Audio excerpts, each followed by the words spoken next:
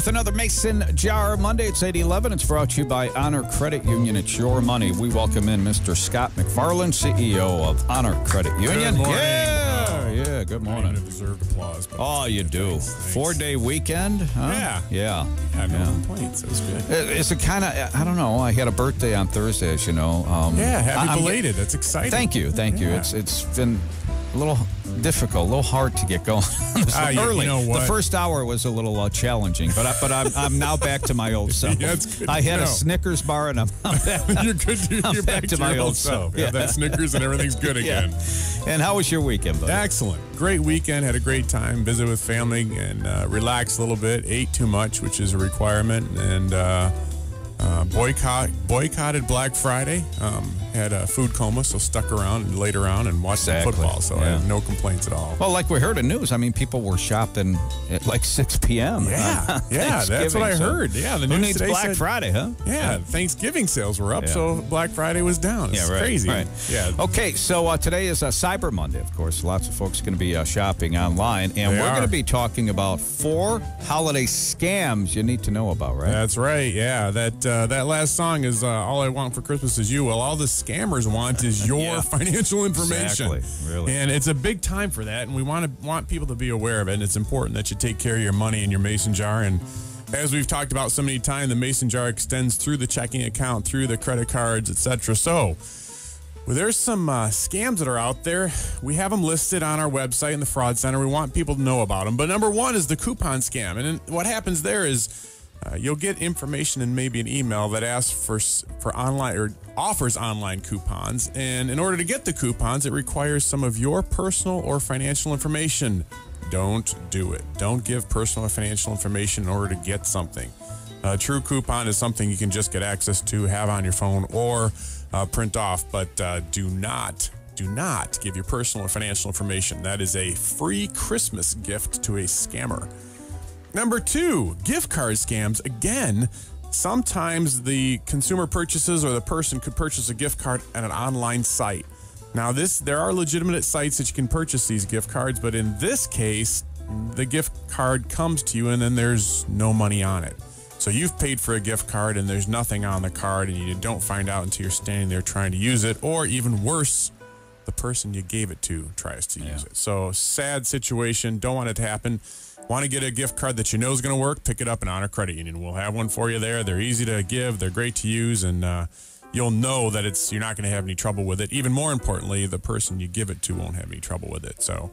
Technology support. So here's what happens: is sometimes that the, you may in your email box get notification that you're going to be there's a threat to your computer or your mobile device and they ask you to reply and share information again personal information and that they'll be contacting you. And in reality it is just one more way to draw information out. So again the main theme here is don't give your information away. Keep it under wraps. No pun intended. Fraudulent fake scam.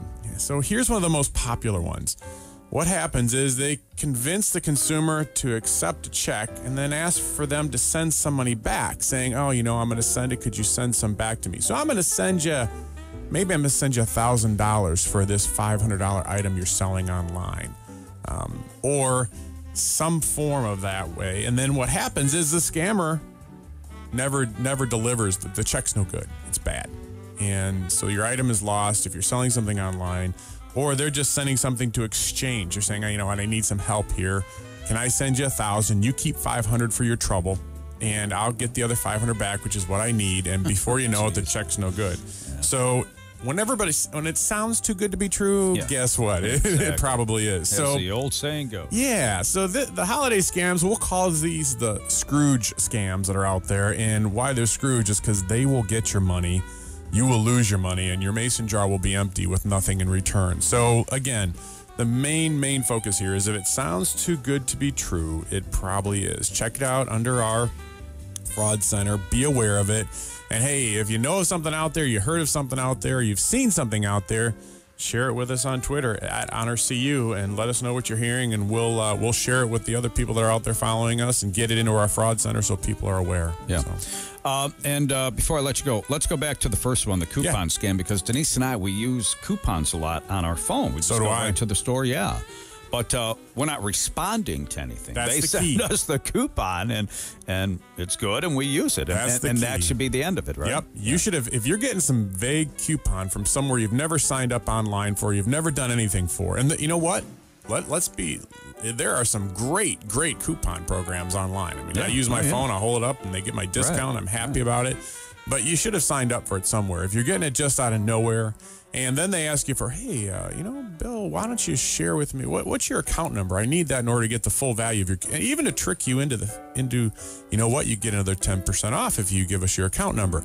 That that's a those are scams all the way, and they're just looking for ways to to take your money. So those are the Scrooge scams. We want to keep our members' money and our consumers' money in our members' pockets and not in the bad guys. And, and you know, with everybody cyber shopping and swiping cards and doing all that good stuff and Christmas season, more opportunity than ever for the bad guys, and they know it. So pay attention to those statements and those bills that you get too.